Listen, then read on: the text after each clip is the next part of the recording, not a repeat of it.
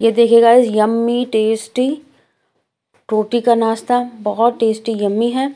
और रखी हुई रोटियों से हमने बनाया है। आप चाहें तो इसकी जगह पर ताज़ी रोटियाँ भी ले सकते हैं। तो देखिए, कितना टेस्टी है। तो हेलो एवरीवन आप सबका स्वागत है हमारे यूट्यूब चैनल छाया मिश्रा में। गाइज़ ये देखिए, हमने दो रोटियाँ ले ली हैं, रखी हुई। और ये हमने ले लिए हैं काले चने, जिनको ओवरनाइट के लिए हमने पानी में भिगो करके रख दिया था। और एक ग्लास पानी ऐड करके इनको एक सीटी लगाकर बॉयल कर लिया है और मिक्सर जार में हम ग्राइंड करेंगे। इसको गाइस हमारे यहाँ लाइट की थोड़ी सी प्रॉब्लम होती है। इसलिए जब हमें टाइम मिलता है तो हम ग्राइंड वगैरह करके रख लेते हैं, फिर वीडियो बनाते हैं।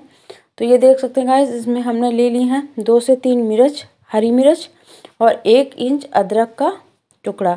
तो ये सारा हम एक में ही डालकर पेस्ट बना लेंगे। तो चलिए तो ये देखिएगा, जिससे बहुत टेस्टी बहुत यम्मी नाश्ता बनता है प्रोटीन युक्त होता है। तो ये देखिए, हमने पेस्ट बना लिया है, मगर अभी बिल्कुल सूखा है। हमने पानी का इस्तेमाल बिल्कुल नहीं किया है। देखिए, पानी का इस्तेमाल पहले ना करें, वरना ऐसा होता है ना कि हमारे पेस्ट में पानी ज़्यादा हो जाता है। इस वजह से हम बाद में ही पानी ऐड करेंगे। तो देखिए, मिक्सी के जार में दो स्पून के करीब हमने पानी ऐड किया था, उसको हमने अपने बैटर में ऐड कर लिया है। तो अभी भी हमारा बैटर सूखा लग रहा है तो हम थोड़ा सा और पानी ऐड करेंगे। तो इस बैटर में लगभग चार से पाँच स्पून के करीब पानी ऐड हो जाएगा। तो ये देखिए, इस तरह से कंसिस्टेंसी हो गई है इसकी।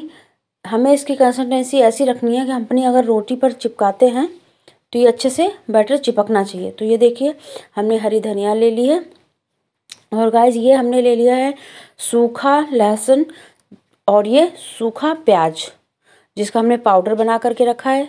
डिस्क्रिप्शन लिंक डिस्क्रिप्शन बॉक्स में आप लोग देख सकते हैं।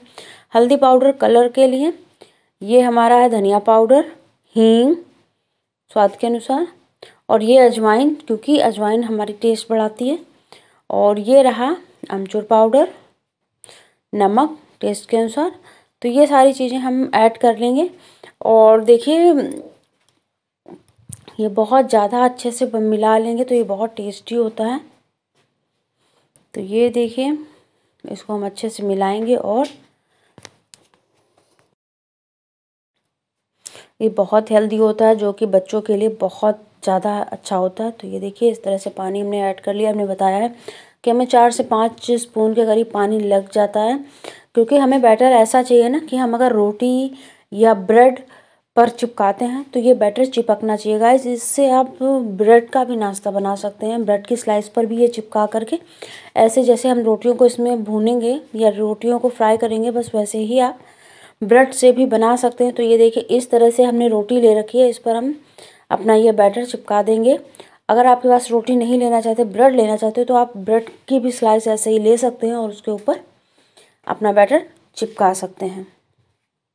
तो ये देखिएगा इस हमारा हो चुका अच्छे से। चाहें तो हम ऐसे दूसरी रोटी ऊपर से चिपका करके सेक लें, लेकिन हम ऐसा नहीं करेंगे। हम अपना अलग से दूसरी रोटी बनाएँगे। तो देखिए, दोनों रोटियाँ तैयार हो चुकी तवे को हम फ्लेम पर रख देंगे और लगाएँगे ऑयल अच्छे से और इस तरह से हम लगा लगा देंगे सब तरफ़ से ऑयल तो अब हम इस पर सेकेंगे अपनी रोटियाँ। तो देखिए कैसे एकदम से टेस्टी यम्मी नाश्ता बना के तैयार करेंगे इसका। ये देखिए जिस तरह से रोटी, इस तरह से पलट कर रोटी हमने रख दी है तो जिस तरफ़ से हमने बैटर लगाया था, बस उसी तरफ़ से रोटी को पहले सेकना है। तो ये देखिए, ये अच्छे से हम इसे चिपका देंगे और अच्छे से क्रिस्पी होने तक सेक लेंगे। तो ये देख सकते हैं गाइस हमारी रोटी का बैटर अच्छे से सीख गया है। और एक बात गाइस देख सकते हैं, रोटी हमारी फूलने लगी है। ठीक, देखिए, अगर हमारी रोटी अच्छे से बनी हुई है तो वो अक्सर करके फूलने लगती है तो कोई दिक्कत नहीं इस तरह से। आप एक फॉग ले लें, उसकी उसकी सहायता से थोड़ा सा प्रिक कर दें तो जिससे कि रोटी के अंदर की जो गैस है, वो बाहर निकल जाएगी और हमारी रोटी फूलेगी नहीं। तो इसको हम ऐसे ही आप उलटते पलटते सेक लेंगे क्रिस्पी क्रिस्पी होने तक, क्योंकि बच्चों को क्रिस्पी बहुत चीज़ें अच्छी लगती हैं, इस वजह से। तो ये देख सकते हैं गाइस हम अच्छे से सेक लेंगे। तो जब फूलने लगे रोटी, बस प्रिक कर दीजिए, हो जाएगा। तो ये देखिए, अच्छे से सीख चुकी है। और अब इसे हम हटा करके अलग रख लेंगे। और दूसरी रोटी को भी इसी तरह से हम सेक कर तैयार करेंगे। तो ये देख सकते हैं, उसी तरह से हम फिर से ऑयल लगाएँगे और अपनी सेकेंड रोटी को भी ऐसे इस पर पलट देंगे। इसको भी अच्छे से सेक लेंगे। तो देखिए दोनों ही रोटियाँ सिककर अच्छे से तैयार हो गई हैं, नाश्ता बनकर तैयार हो गया, इतना टेस्टी इतना यम्मी नाश्ता। गाइस एक नाश्ता बनने में लगभग लगभग दस मिनट लगता है क्योंकि हमें क्रिस्पी चाहिए होता है। तो ये देखिए, बनकर तैयार हैं तो चलिए इनको हम करते हैं कट जैसे पिज़्ज़ा कट किया जाता है, बस उसी तरह से हम, हमारे पास नाइफ़ है, हम नाइफ़ से कट कर देंगे। आपके पास पिज़्ज़ा है तो आप पिज़्ज़ा से पिज़्ज़ा कटर है तो आप पिज़्ज़ा कटर से भी ऐड कर सकते हैं। गाइज़ एक बात और, आप इसे यम्मी टेस्टी किसी भी चटनी के साथ सर्व कर सकते हैं। बच्चों को दीजिए तो टमाटो जैम के साथ दे सकते हैं टमाटो केचप के साथ दे सकते हैं और बड़े लोग तीखी चटनी के साथ या फिर आप चिली पन चिली सॉस या सेजवान सॉस के साथ सर्व कर सकते हैं। तो बहुत टेस्टी बहुत यम्मी लगता है हमारा ये नाश्ता।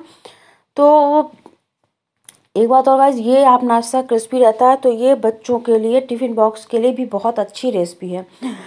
तो आप लोगों को अगर ये रेसिपी हमारी पसंद आई हो तो please like subscribe and share और आगे आप लोगों के लिए क्या क्या रेसिपी लेके आएँ तो उसकी कमेंट ज़रूर करिएगा। Thank you bye